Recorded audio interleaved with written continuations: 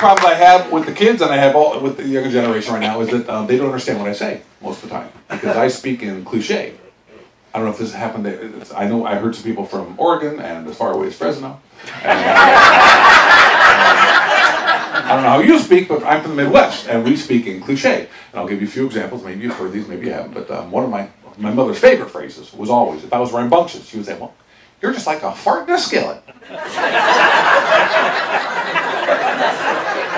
I'm nine years old, thinking, uh, first off, how'd you get the fart in the skillet? and, and assuming you got it there, why would you fry it up? I don't understand that at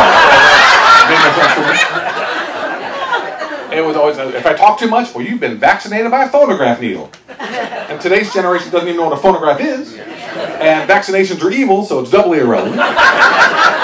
If you saw a rich person, it's like, well, they they got more money than you can shake a stick at. Look out! They're at death's door. Like, well, they shouldn't have gone to death's house in the first place. That was a mistake. My grandmother always thought I was gonna, I was dead in the ditch. She was always, oh, Bobby, Bobby, thought you were dead in the ditch. if you're from Indiana, if you're hit by a car, if you're going to survive, you can stay in the road. If you're going to die, you got to crawl over the nearest ditch.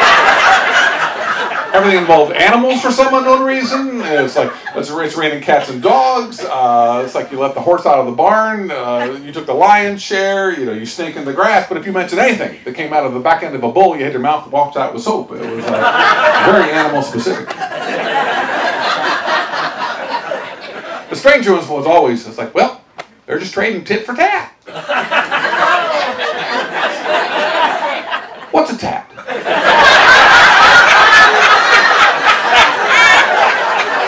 Why would you trade a perfectly good